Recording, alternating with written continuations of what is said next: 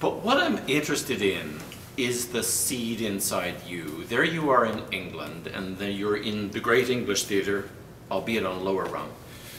But there's no voice for Eric, there's no voice for Eric's history, there's no voice for Eric's country, there's no voice for Eric's people, and he seems to be okay with that. And then that's, that spark gets struck in you when you came back.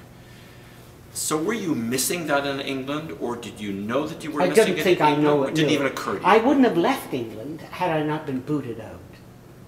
And that was, um, I'm trying to think of his name. It was a North Irish guy, um, um, terrible man, Enoch Powell. He made a big stink about the Kenyans, the, you know, the uh, South Asian Kenyans who, you know, who all had British passports, suddenly getting kicked out by Idi Amin coming to England. And how this was terrible, all these always colonial with their passports, with their British passports, coming to live in Britain. And so I got sort of swept up in people being kicked out. So I was just on a work permit. I hadn't emigrated. That I kept extending, and they one they just said no. Finally, I got one. You must be. This must be presented by a certain date, or you will be illegally in this country. So I came home, and I don't think. I still came home with the idea that my great thing would be to return to England and be a famous English actor. Not American. And how long did that last? Or did, do you still Well, have... I ran into Paul Thompson. Right.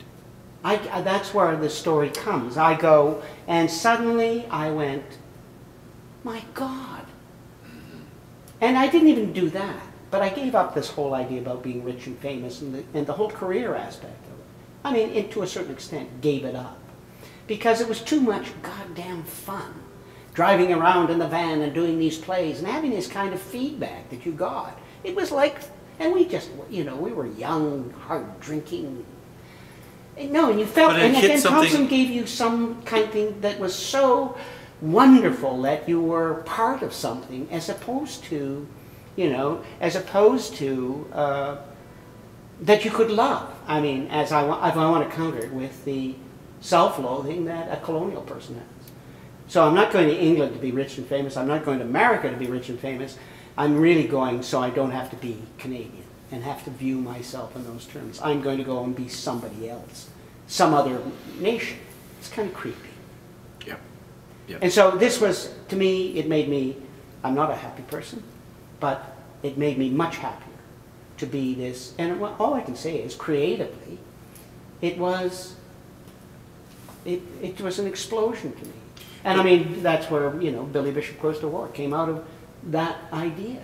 That we But the take. voices that you speak through your characters, whether it's Billy Bishop or whether it's William Lyon Mackenzie or whether it's the guy in Seeds, the voices that you speak and the guy in Half Life are so important to Eric that that voice have ownership in this land and that artist and that actor. And that's part of the kind of voltage that comes up through your performances. Now, you didn't have that in England playing the constable, but you discovered that scene. I mean, sorry, I I'm don't sorry. think I probably did. Take a leap there. I did. I didn't get any mention in the reviews. I have to admit. Do you have any press from that time that you keep in? Nothing. I do have a poster though with my name.